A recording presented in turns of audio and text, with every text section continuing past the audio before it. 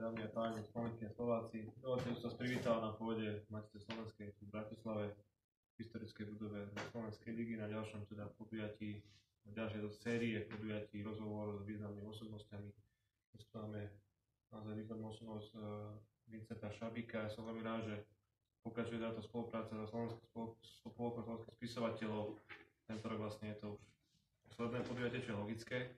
Takže uvidíme, čo priniesie budúci rok Ďakujem, že ste prišli aj v takomto skoršom čase, ale teda máme pred sebou potom aj ďalšiu časť, kde budeme teda, kde prebiehať ďalšia vernisáž našej matičnej výstavy. Takže slovo teda odozdávam kolegovi podpredsedovi spolku zakladateľov Lukášovi Petrem, ktorý teda bude viesť rozhovor s pánom Šapíkom. Ďakujem, že ste prišli.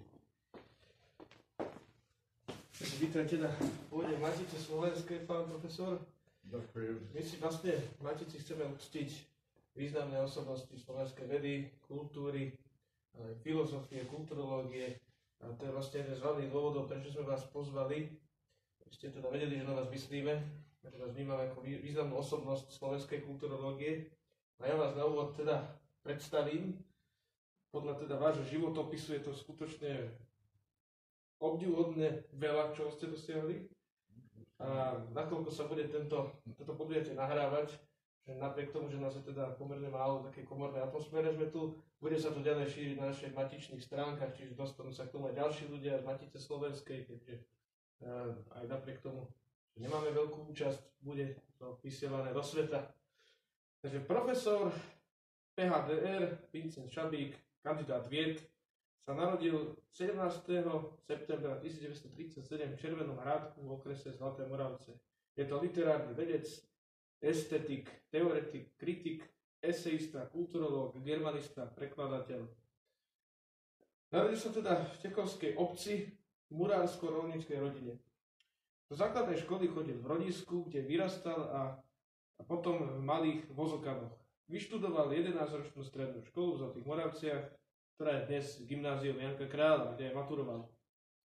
Absolvoval e, odbor slovenský jazyk a literatúra, nemecký jazyk a literatúra na Vysokej škole pedagogickej v Bratislave v rokoch 1955 až 59. Odbor nemecký jazyk a literatúra na Pedagogickej fakulte UK v Bratislave. Taktiež. V roku 73 absolvoval rigoróznu skúšku a získal pedagogický titul PHDR na FFUK v Bratislave. Vedeckú hodnosť kandidáta vied obhajil v roku 92 dizertačnou prácou skúmanie recepcie literatúry na UK zase v Bratislave pedagogickú hodnosť docenta teórie dejí na slovenskej literatúry, dosiahlo habilitačnou prácou v 95. kritické chápanie v literatúre. Na univerzite už Konštantina filozofa v Nitre, to nás mimochodom, čo nás vlastne spája, nakoľko som taktiež na tejto škole e, študoval. No, základom tejto práce bola teda hermeneutická orientácia.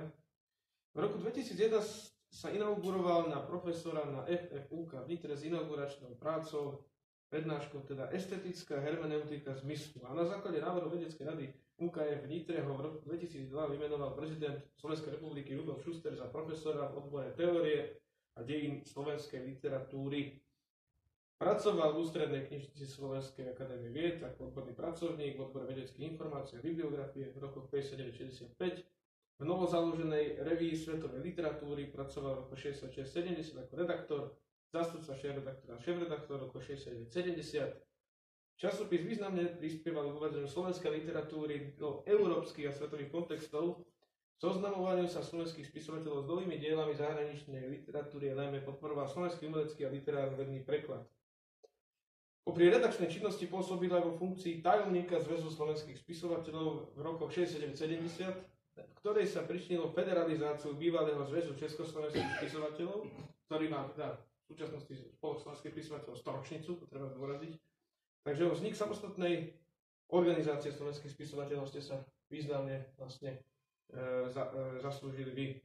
Bol riaditeľom v roku 70 73 a šéf-redaktorom vydavateľstva Slovenský spisovateľ, kde vypracovala, teraz počúvate, projekty Zlatý fond slovenskej literatúry a Zlatý fond svetovej literatúry, Veľmi dôležitá vec. V rokoch 86 a 90 bol riaditeľom Ústavu umeleckej kritiky a divadelnej dokumentácie v Bratislave. V rokoch 88 a 90 bol zároveň zástupcom šéf-redaktora literárneho týždenníka, ktorý bol v tom čase orgán Zväzu slovenských spisovateľov a od 12. januára 90 časopisu Spolku slovenských spisovateľov, ktorý založil a ktorého prvé číslo vyšlo 21. septembra 1988. Časopis pod jeho vedením, okrem toho, že šíril autentické hodnoty slovenskej pôvodnej literatúry, umenia a kultúry, ale aj českej a domácej, menšinovej, európskej a svetovej literatúry, sa pred novembrom 89 ako málo ktoré vedľajšie médium nezavediteľným spôsobom zasadzoval za demokratizáciu a humanizáciu spoločenského života. V roku 1991 sa vrátil do Ústavu umeleckej kritiky a divadelnej dokumentácie v Bratislave, kde pôsobil ako vedecký pracovník do jeho zániku.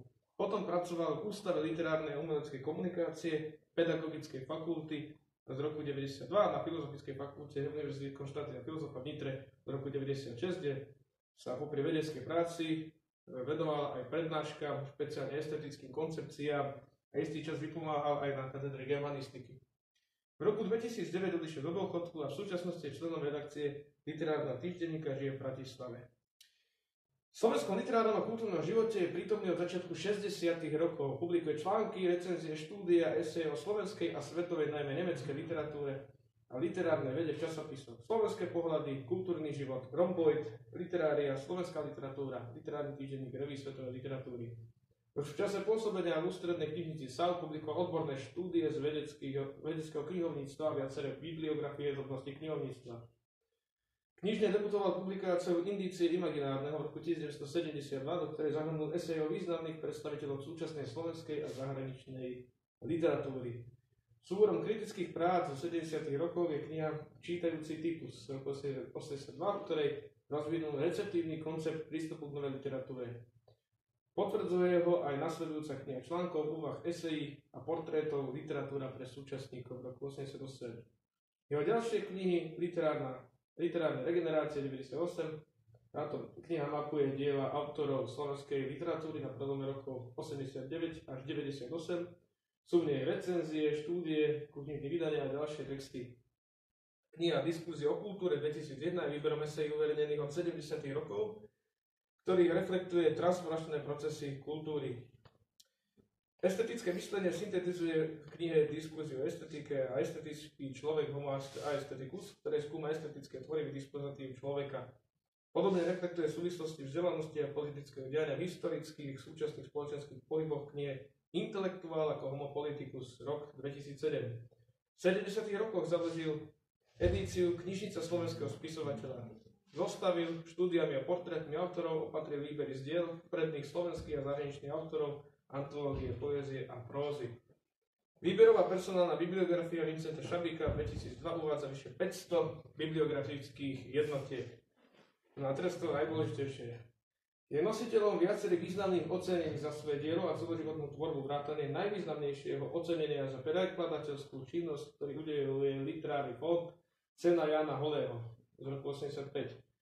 Viacerých préví literárneho fondu za pôvodnú tvorbu za rok 2001 a 2002 za vedeckú odbornú literatúru z roku 2003, 2004, 2008, 2011, ceny Štefana Krčmériho za vynimočný výklad, vklad teda do literárnej kritiky a pomoc pri profilovaní modernej tváre časopisu Slovenskej pohľady.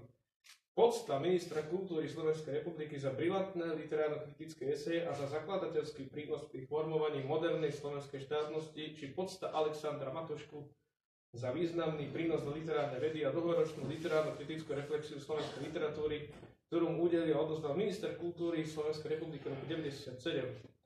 Ďalej je nositeľom mimoriadnej ceny Spolku slovenských spisovateľov literárneho týždenníka, zakladateľ a prvý šéf-redaktor tohto časopisu.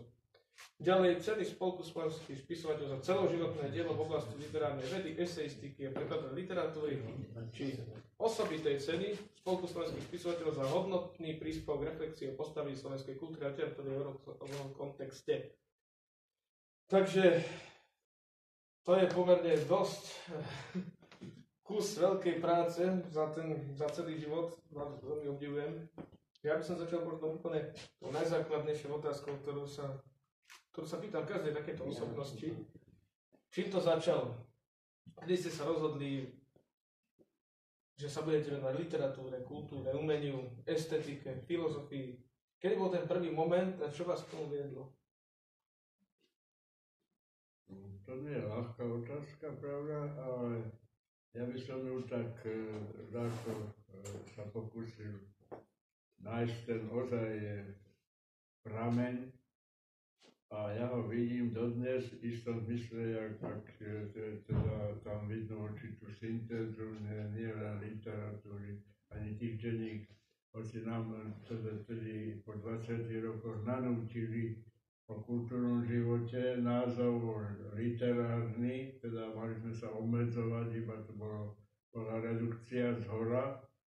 A my sme ju prekračovali, už sám som definoval, de, definoval ako šéf-redaktor e, to poslanie, ako som ho videl, že budeme hľadať priestor pre slovo. A ja jazyku pripisujem e, kľúčové postavenie aj z hľadiska kultúry, aj z hľadiska antropológie, aj z hľadiska e, politiky.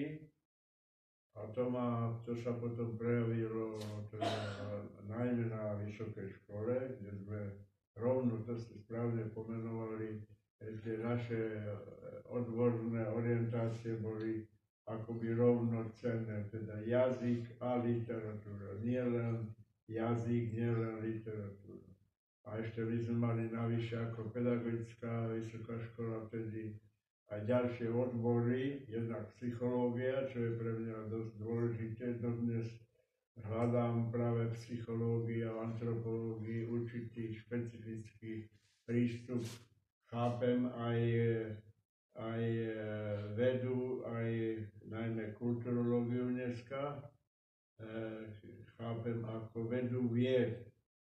Dneska sa štilizuje technika, technológia, akože veda všetkého, ku všetkému, aj, aj e, predĺženiu života, aj teda eutanázia, teda zabíjanie legálne. Ale ja si myslím teda, že to je skôr tak, e, že tu musíme hľadať človek, tajomstvo človeku, teda o človeku homo, e, homo antropologicus, kým sa odlišujeme od zvierat a tak ďalej, to je kľúčová otázka, ktorú ja pripisujem e, dneska ku všetkému a najmä si myslím, u nás je to štátnosť. Teda to, ten celý ten proces, tisícročný proces nášho, nášho etnika, povedzme, e, ale my sme neboli len etnikum, ani na začiatku, my sme boli už v určitom zmysle teda nácio, ako francúzi hovoria, teda národ, sme sa, sme sa e, práve kultúrne sa pokúšali definovať kulturologicky, a to ja pripisujem ako, ako až neuveriteľné takému primátu nášho e, vladyku Rastislava, že ako prvý integroval, implikoval, po- spojil kulturalizáciu s kristianizáciou.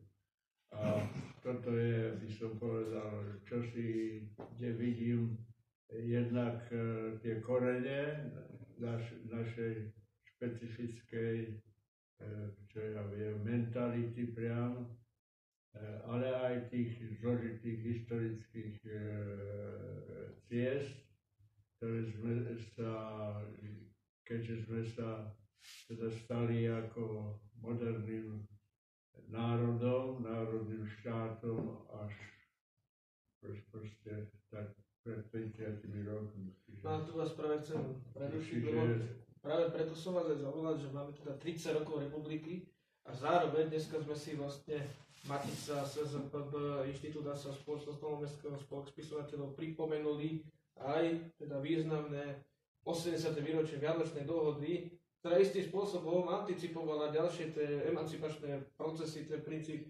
rovného s rovným, Češi so Slovákmi, ktorý dovedol potom cez SRP až k federalizácii Československa a tak ďalej.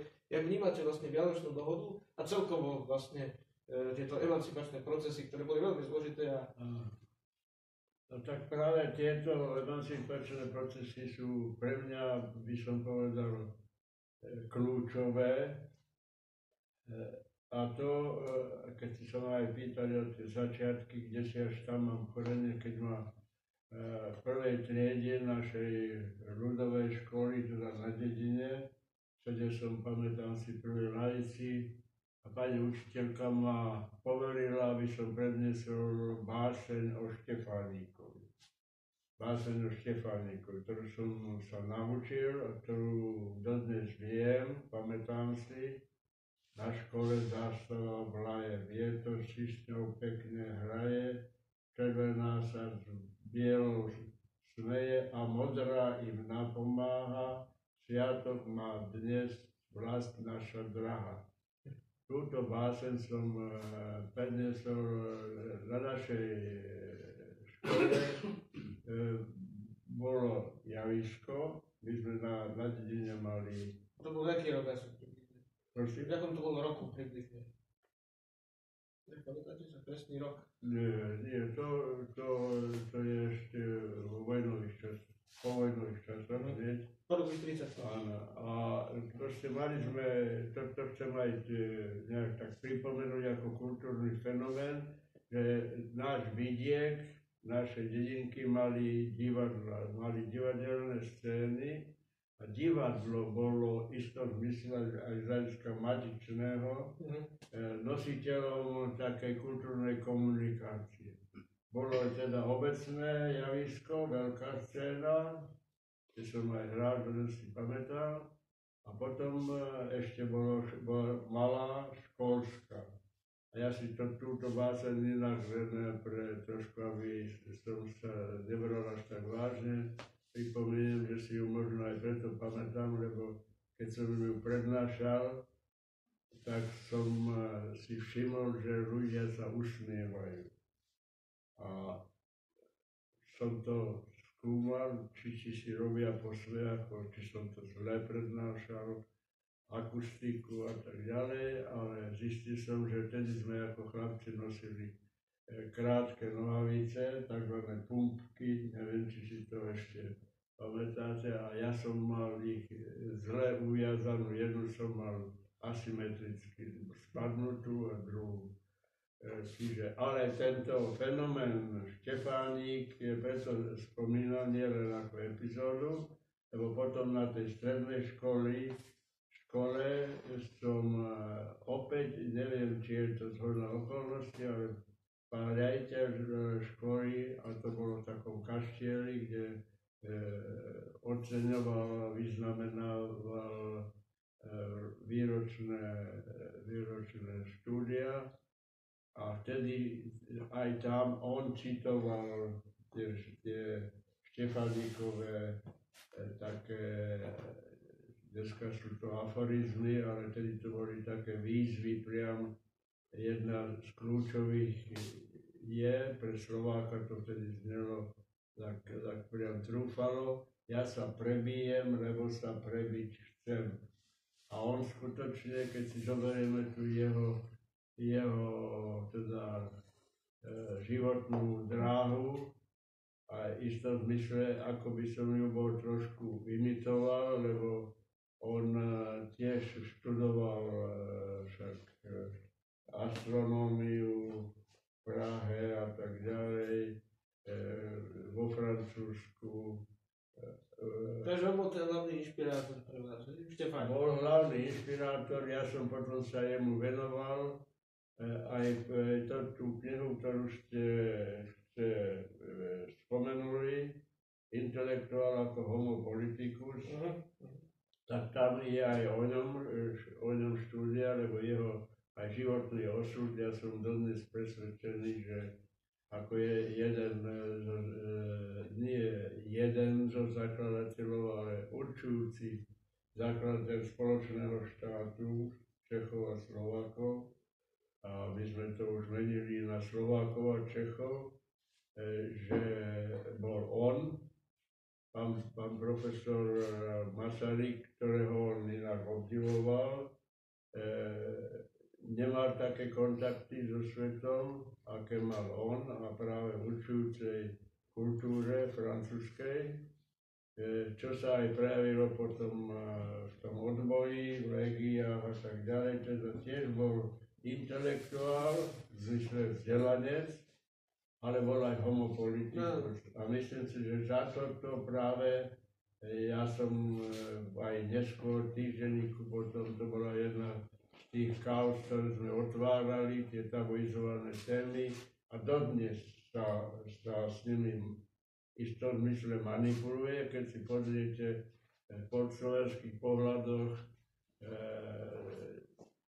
pred dvoma rokmi možno, ale nie celkom, jeden český autor napísal o Štefánikovi a robí z neho trošku takú, takú, čo ja viem, personu non grata, že bol nafúkanec, že sa pchal do, do prvej rady vždy, aby bol popredí a tak ďalej. Proste ho, ho chce nejakým spôsobom urobiť sekundárnym nejakým, si bol spoluzakladateľ, ale ja som presvedčený, že keby bol žil, a keby bol žil, tak e, aj spoločný štát e, Čechov a Slovákov by sa bol inakšie vyvíjal, boli by sme tú, tú kľúčovú, e, kľúčovú tézu alebo postulát, ktorý ste spomenuli, ako rovný s rovným, pre mňa je kľúčová v tom, že my sme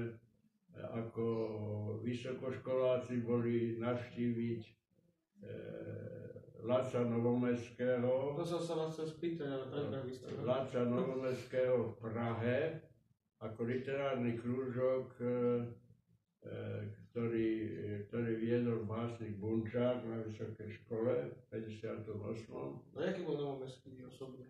No tak to, to chcem práve počiaknúť, že to ma v určitom zmysle, by som povedal, motivuje z toho hľadiska eh, homopolitikus. Teda, že ja som nemal politické ambície, ale som presvedčený, ako to dokazujem aj v tej, tej spomenutej knihe Intelektuál ako homopolitikus, že každý je taká tradícia, každý európsky vzdelanec, a to ja odložujem od Platóna, od Antiky, Aristotela, eh, je aj politický človek, keď sa rozhoduje, keď hľadá riešenia spolunažívania ľudí, keď sa kultivujeme, keď nie sme len zvieratka, nezakladajú štát ani polis, ale, ale my sa tým odlišujeme. To je dodnes, eh, preto to až tak anticipujem. To je dnes veľmi aktuálna téma, ktorú by som tejto vláde, ktorá nás, e, nás teraz e, e, živí, každý, každý až do, do noci, deň, teda sa zaoberáme rozpočtom a, a tak ďalej, ale kultúru, ak si všimneme, nikto veľmi nespomenie ani. No, ja, ja nás musí doplniť, že konečne sa začína v tomto zmysle zlepšovať situácia a jednak aj, teda aj Matica teda, Áno, dúfam, dúfam. Aspoň bol prístup, že bude viac podporovaná, takže máme z toho radosť. Ale ja, vás, ja vám dám teda ešte dúfam, nejakú medzi otázku, aby... Dúfam, ale ja, ja chcem ešte no. jednu nadviezať, ako som si aj... E, ja som totiž, e, keď e, štvrtý štvrtý adept, teda štvrtý raz pán predseda vlády e, založil sociálnu demokraciu u nás, tak ja na základe tých skúseností, ktoré, ktoré sa spájajú s literárnym týždenníkom a s jeho úlohou, e, s jeho úlohou v emancipačnom procese e, Slovenska, E, ktorá, ktoré, ktorý ja e, som chápal vtedy ako dielo slovenskej inteligencie, teda v zmysle, v zmysle aj, aj tej vzdelanosti, ale aj v zmysle tradície od tých čias Rastislavovských, ktoré spomínam, a ktoré žiaľ Bohu e, tohto prvého by sa, by sa nám imponuje imponuje Svetopluk ako ako král, lebo bol aj už teda vymenovaný za kráľa. A, a Rastislav nebol ešte král, bol iba knieža, ale my sa ešte aj to hádame, spochybňujeme. Ale ja si myslím, že my sme mali na to svoj názov, svoj termín. Král je z nemeckého Karol. Král. Ale my sme mali, my máme dodnes teda, aj keď to prevzala pravoslavná církev, vladiku, vladiku, vladára, teda ten, ten veľmož, ktorý vládne a e, to, to stačí. Ale mňa je dôležitý ten, ten výkon, že spojil kulturalizáciu e, s kristianizáciou.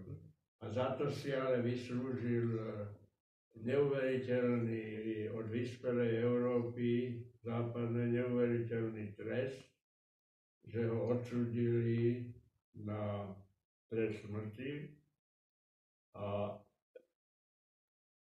ten trest zmenili na vypálenie očí v českom filme, to aj ukazujú, ako je rozpálený tanier kovový a nožom mu vyrezávajú. Čiže tomu kto šíril paradoxne svetlo, slova, ja od toho odvozujem aj názor Slovákov, ja netvrdím naopak. Všetci si myslia, že e, my sme nemali názov e, ako národ, ako etnikum, ani, ani, ani e, dodnes ako by sme nemali a že sa len odvodzujeme od Slovanov. Podľa mňa je to naopak. Slovania všetci, všimnime si... Okrem Slovincov. Slovinci Nie, aj Slovenci. Slovenci jediní s nami, No, e, no, teda v tom zmysle, áno, to máte pravdu.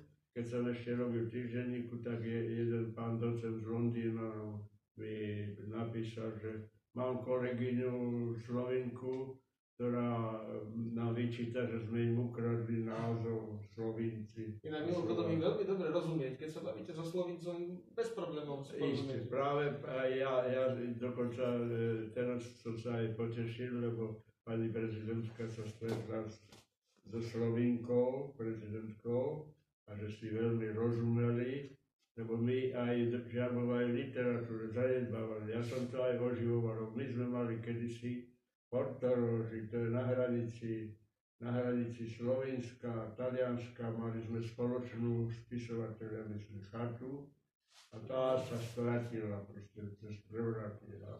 A my sme tedy e, ako komun, ko, komunikovať začali viac, lebo oni majú Slovenci takú podobnú pozíciu ako, ako Slovenci, e, teda ako my tu tam Jugoslávii. My sme to, my sme to vlastne Áno, zistili aj na tých no. kongresoch Matic, Áno. kde ich vlastne Maticu Slovensku voláme. Ale oni, oni majú aj také svo- svoje špecifické sebavedomie a tak ďalej. To je, Len ten jazyk má troška nemecké prvky. ten jazyk práve to preberá, u nás to zase majú bratia Česi. My sme si zachovali po- pomerne teda, e, preto ja aj pripisujem tejto otázke jazykovej kľúčovú úlohu, e, aj pokiaľ ide o názov, že prečo sa my voláme Slováci, e, všetci Slovania majú dva názvy. Každý národ, e, nazývajú tí vonku, čo sú, a tí znúka. On sám sa nazýva nejakým spôsobom. A my jediní e, so Slovencami máme len jeden názov. Mhm. Je- Bratia Česi sú Česi a Sl- Slovania. Rusi takisto a tak ďalej. Dodnes táto otázka identity teda hrá kľúčovú úlohu a myslím, že ju treba. Toto keď si, e, aby som to skrátil, som ja inicioval pri jubileu memoranda, lebo Fi- Fico založil teda sociálnu demokraciu ako stranu, ale inak sa národu nikdy ako člen strany nevyjadroval. No ale práve, že sa v poslednom čase dosť vyjadruje. Prosím? Práve, že dosť často sa No, vyjadruje. za to sme my iniciovali, o to ide. O to ide, to chcem pripomenúť aj jemu, že, že ani jedna vláda nemá kultúrno-politický program, takisto Matica trpí, aj e, národné noviny, aj slovenské pohľady sa stali e, dvojmesačníkom a tak ďalej, týždenník je na zahynutie a tak ďalej, ale pritom tu je kľúčovú tá úloha, ktorú povedzme týždenník zohral pri, pri tej suverenizácii, E, dokonca ako ja to ešte inak nazývam, teda emancipácia. Emancipáciu týždenníku sme chápali ako proces, proces, ktorý má, e, má dve fázy. Má proces e, emancipovať sa od vlastnej, vlastnej nemohúčnosti, bezradnosti alebo aby som to magične nedefinoval od koži otrockých horvanovských, teda emancipovať, zbavovať sa zbavelosti, zbavovať sa služobníctva, petorizáctva a tak ďalej, zbavovať sa tomu, aby mládež odchádzala do Prahy za lepším chlebom. Teraz sme vydali knihu, vyšla kniha posledného štúrovca e, Zrkadlo Slovenska, po 100, 100 vyše rokoch sme ju preložili do Slovenčiny, vyšla predtým Pešti, e, najmladší štúrovec Benjamin Čer, Červená vydal. Ani, ani ja som jediný na ňu ukázal prstom, vyšla. Ani som myslím, že vyvolal diskusiu, že budeme rozprávať, lebo on nadhadzuje a dokonca až priam teologicky, že to je nevďak, keď e, odchádzajú mladé mozgy do cudziny za lepším chlebom.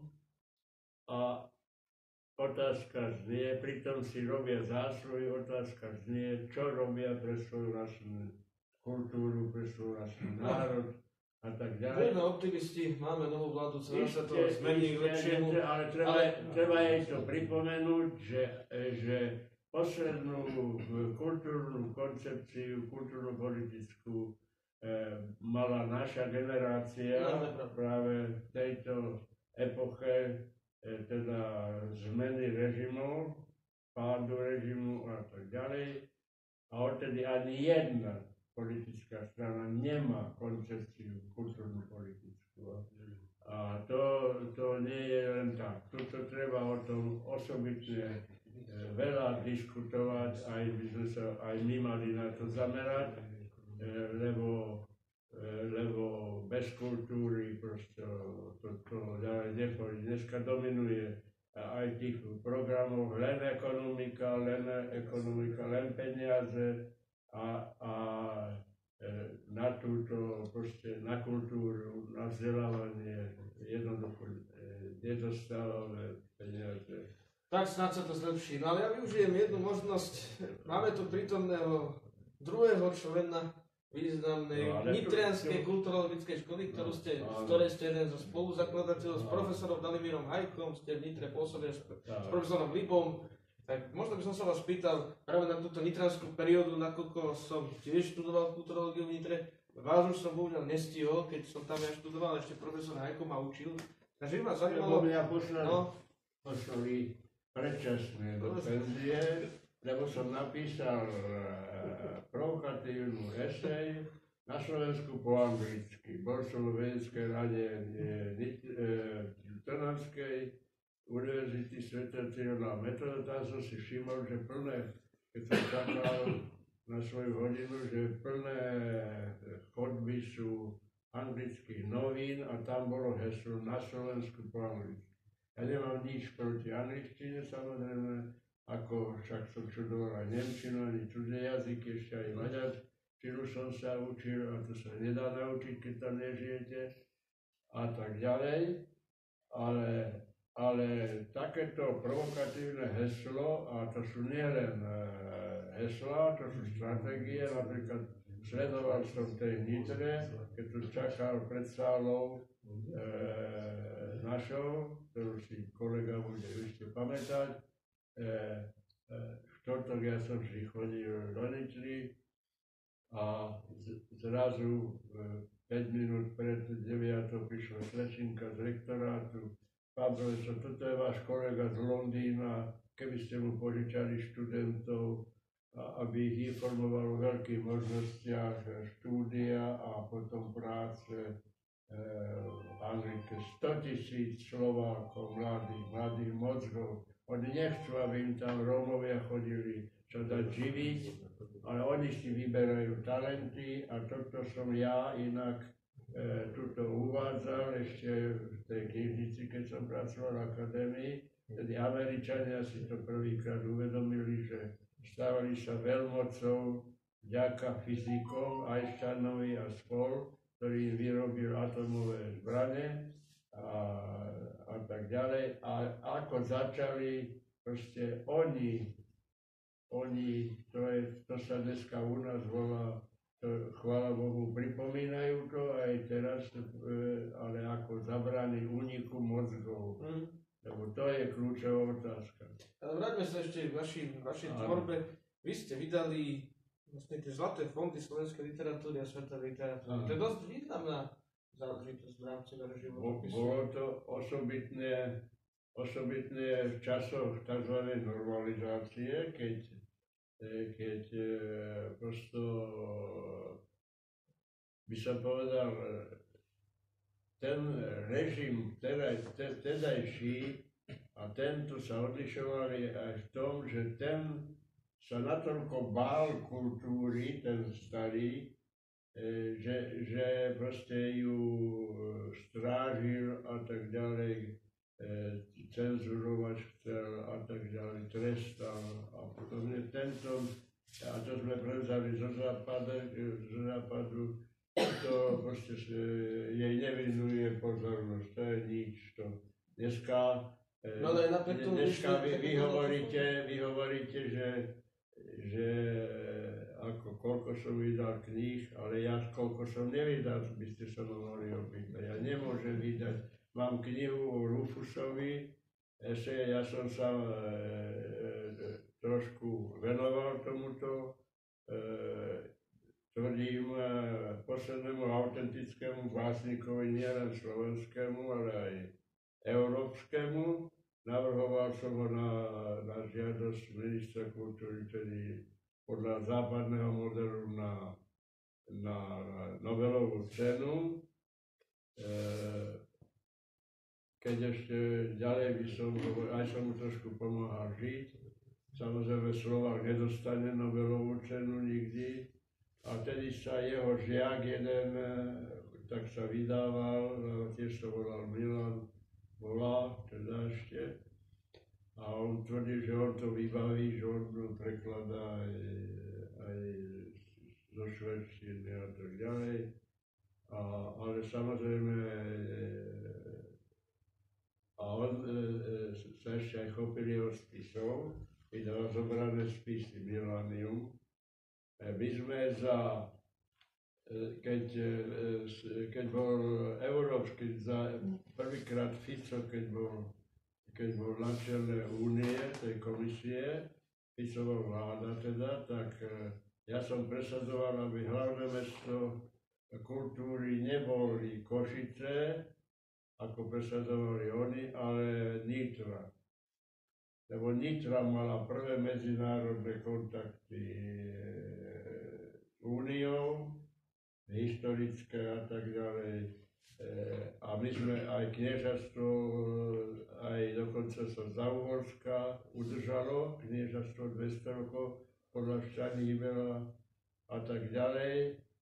A e, proste sa mi to samozrejme nepodarilo, ale Košice, e, Ko, Košice, kde žil jeden Šváb, teda historický pôvodom Nemec švábského jeho pôvodu, jeho otec bol, bol právnik, ten si nechal meno, e, ten si udržal, dokonca pôsobil aj v Prahe, a jeho syn Máraj sa volal, obdivoval, keď Maďari, Honvédi obsadili Košice podľa e, budapešťanského modelu, keď, keď sa naši, ako podľa najmä Matičiari, pokúšali emancipovať, teda otrhnúť, že podľa Hinku naše man, manželstvo sa nevydarilo a tak ďalej, tak, tak e, proste oni e, e, vtedy, a ja som to poznal blízka, oni e, začali stavať na bolševizme, Maďari. E, Slovenská republika rád myslíte? tak, presne hovoríte. A vtedy bol e, mojej susedy e, e, otec študoval medicínu v Budapešti, bol lavicový a existoval taký kľúčový bolševík maďarský Bela Kún. No, no, no, no. Bela Kún bol vo vezení a oni ho vyzdvihli z toho väzenia, mal, dostal symbolický e, tanier ako reprezentant e, Budapešti a urychlene zostaviť Červenú armádu obsadiť juh Slovenska. To si dodnes u nás pamätajú napríklad. A založili teda republiku. Prečo? No, inak to bola jediná republika, ktorá mala a oficiálny jazyk. Tento, tento Maraj mladý aj o tom kniha, aj, aj e, fotka, ako je e, e, oblečený za toho hodvéda s mečom v ruke a proste on sa tak zalúbil, hoci študoval e, v nejakom kláštore katolickom, proste, že on aj písal potom po maďarsky e, a tak ďalej, aj sa vydával za katolíka, ale nenávidel Slovákov, skrátka nenávidel až tak, až tak neuveriteľne, e, lebo obdivoval, teda mal rád kuchárku svoju, Slovenku, ktorá mu varila halušky a svíže, tvarhové najmä obdivoval a slovenských, slovenských e, stolárov, to ešte aj v Budíne mal stôl e, slovenský, ale proste inak Slovákom nevedel prísť na meno. Potom, keď emigroval do, do Ameriky, tak sa zastrel, keď padol komunizmus, bolševizmus teda. Čiže tak, takémuto hybridu sme postavili múzeum v Košiciach, postavili sochu, je tam socha ako čaká na kreslo a on bol proste tzv. reprezentant mešťanskej kultúry, ale v skutočnosti proste, no ale to som chcel povedať, to spomínam, že za, e, za dva roky sme mu vydali 16 zväzkov prekladov do Slovenčiny, ale Rufusovi tento vydavateľ dodnes nevydal celé dielo za 20 rokov, aby ste vedeli, aká je to kultúrna politika, keď e, básnikovi e, tohto druhu proste nie sme schopní vydať ani No ale práve za, to, za tej normalizácie, ktorá hovoríte, že bola zlá, vám práve vyšli tie zlaté fondy slovenskej literatúry, ktoré zase nebolo No veď, to je práve, to treba privítať, to sme chceli nahradiť, No. lebo aj tam sa stalo čosi podobné. Tatran bol vydat, to bolo pre Tatran, bolo jediné vydavateľstvo za komunizmu, ktoré malo podtitul Národné. Slovenské vydavateľstvo Beletria umenie. Jediné sa pri, pripúšťalo, aj fond, teda Hviezdoslová knižnica bola ako národ, národný fond. A povedzte mi, kde je ten Tatran po páde režimu, kde. Tatran mal jediný pri Michalskej budovy. Podľa mňa to je príčina, že ho privatizovala jedna slečna, priam, ktorá dodnes vydáva aj pod tou značkou. Ja som jediný na to trošku, trošku upozornil, s redaktorom sme sa stretli, teda, že jak je toto možné v kultúrnom e, štáte, proste bez e, koncepcie toto, aby sa stalo. Ale s tým už asi nič neurobíme. Mám na vás ešte ďalšiu otázku. Ja som to čítal v vašom životopise, teda, že ste sa zaslúžili aj teda o si federalizáciu Zväzu československých spisovateľov. Jak to prebehlo? Alebo No, tak to prebehlo, že ja som, e, inak, veľa by ste vedeli, keď si prečítate e, pre, posledné číslo Slo- e, tohto týždenníka, tak pán Mikloško Joško e, proste hovorí tam e, o, o, o týchto veciach a mali nechať. Ja som skutočne vtedy fungoval ako, keď, aby som mal tú svoju kurikulum, vidíte, jak sa to v akademickej sfére nazýva, teda takú kariéru, mm. ako kultúrnu, politickú, vedeckú, ja som nemal ambície nejaké kariérne, iba literárne a vedecké. V akadémii, keď som bol, tak vtedy som si všimol, že vzniká nový vedný odbor veda o vede a vydal som najprv e, bibliografické materiály, e, povedzme medzinárodnú bibliografiu dizertačných habilitačných prác, ktorá mala veľký ohlas v Prahe a vtedy sa začalo to, čo najväčšia špionáž e, sa ne, ne, nezaujíma e, nikoho ani vtedy už, čo hovorí e, Fico v parlamente, ale či je vedecký problém riešiteľný. To je naj, najefektívnejšia špionáž, teda investícia do a potom do mozgov, do mladých mozgov, najmä teda, kde sú nápady, inovácie, všimnite si, čo sa skloňuje, inovácie, inovácie, technológie a tak ďalej. Proste toto a najväčší únik mozgov máme my dodnes. A proste ja som vypracoval, raz som testoval e, ešte veľa e, cez celé Nemecko, ešte bolo západné e, a východné e, do, s jedným e, holandským vysokoškolákom. Sme sami boli v kupe, sme sa spriatelili a vtedy sme vo Viedni sme si ešte kávičku dali spolu a on išiel ďalej. Holandská vláda vysielala, tak som sa dozvedel, mladé mozgy aby išli do sveta, aby nadobudli skúsenosti, aby sa naučili jazyk cudzí, aby sa naučili byť partnerom, aby vedeli, čo má doma, e, aké hodnoty a možnosti, tak musí odísť z domu, aby si e, nenahováral, že tam padajú pečené holuby zadarmo a tak ďalej. A pokiaľ bude chcieť emigrovať, tak musí zaplatiť štúdiu, aby ďalší chudobný mohol vyštudovať. Toto je model aj toho e, slovenského štúdovca, čo som spomenul, toho Červenáka, ktorý, e, ktorý hovorí, keď si predstavíme, e, keď si predstavíme, e, že koľko e, e, mladí, mladí chlapec alebo dievča, ktoré sa narodí v rodine, koľko, ich to, koľko to stojí starosti, len mamičky, koľko sa natrápia. To sa nedá ani vypovedať. Ako, to sa nedá nihilizovať, ako sa to aj často robí, a je to obrovská investícia. Musí sa zaplatiť potom štúdium, nie?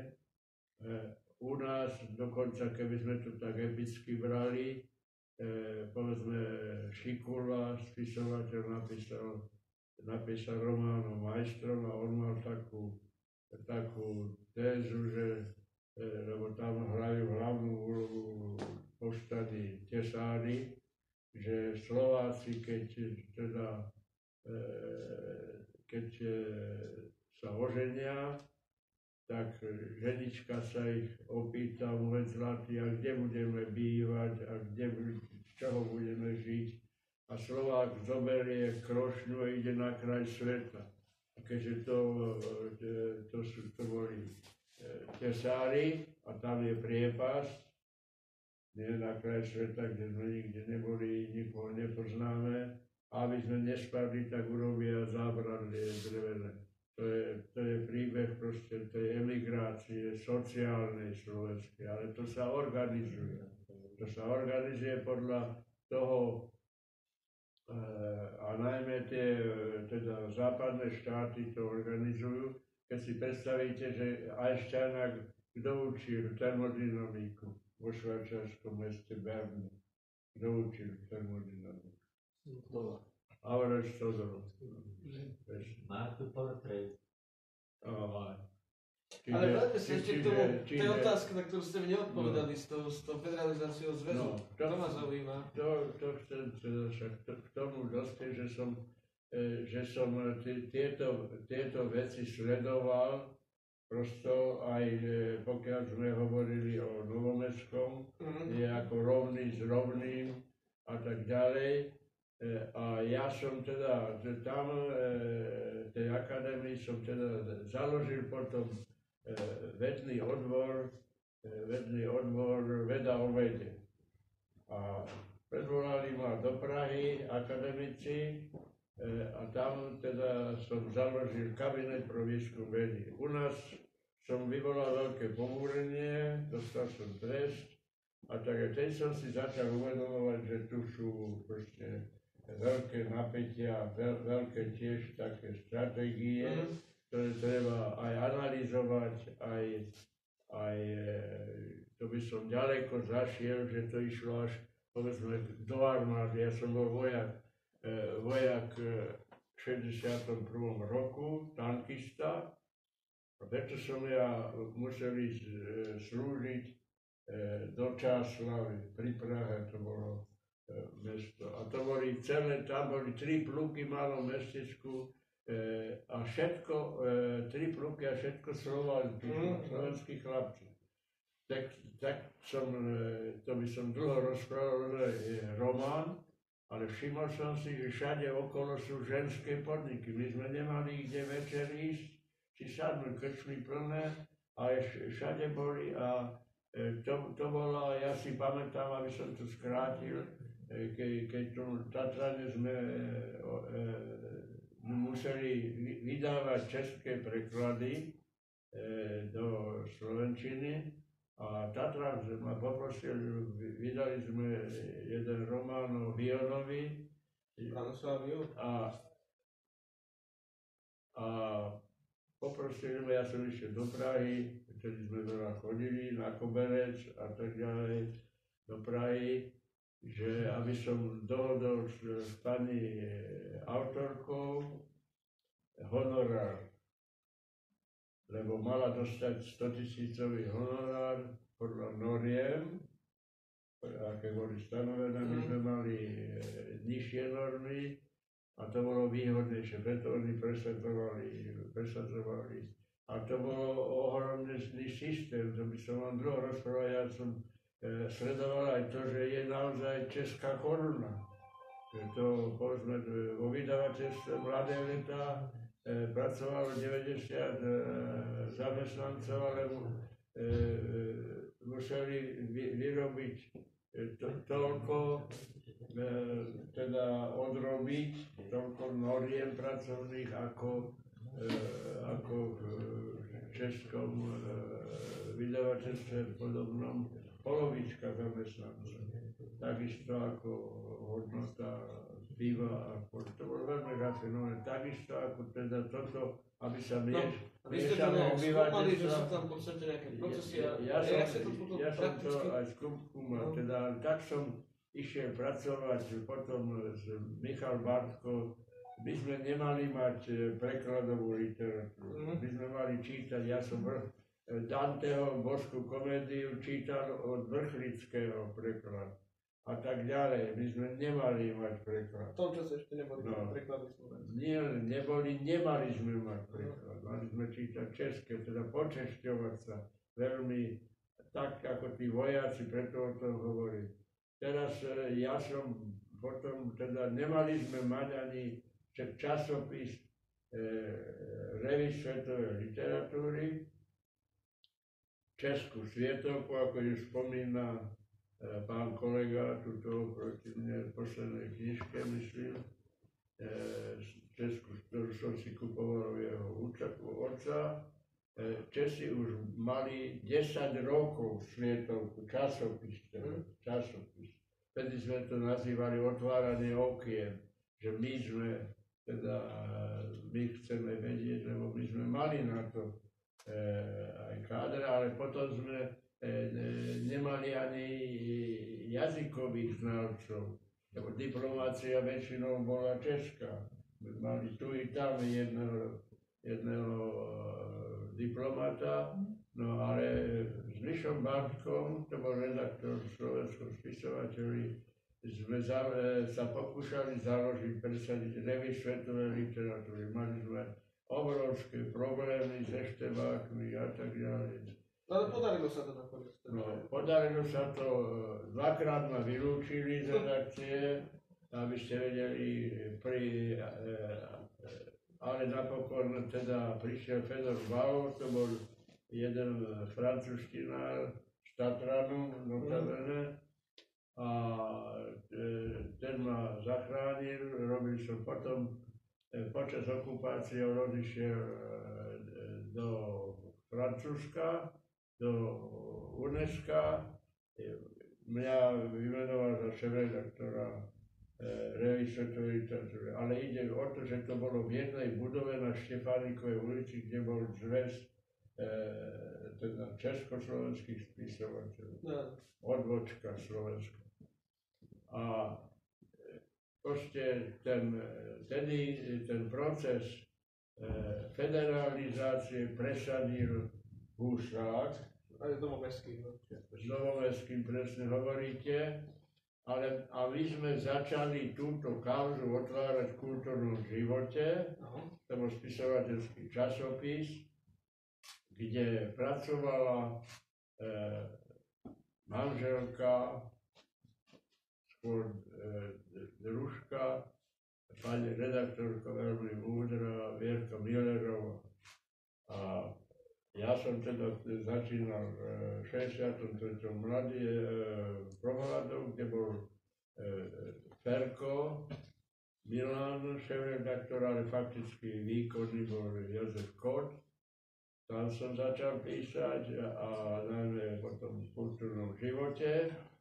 A táto Millerová sa poznala s Husákom, bola jeho manželka, aj, aj ju možno zabili v helikoptére, lebo tam sa robila táto politika. Všimnite si, že je kauzu, ktorú som nespomenul, iba slovom, ktorá ma, keď sme boli v tej Prahe, z Novomestského navštíviť, No, som- robili památniku národného písania. A, a to ma zaujíma, Nes, aký bol. nesmeli ísť do, e, do domov, Na teda na Slovensko, e, robil památnik. E, a ja som to už musel začať, proste mňa to fascinovalo skúmať aj, lebo, lebo to je, to je neuveriteľné, že tí, ktorí bojovali za SNP, teda proti fašizmu, Husák, Klementis e, a, a celý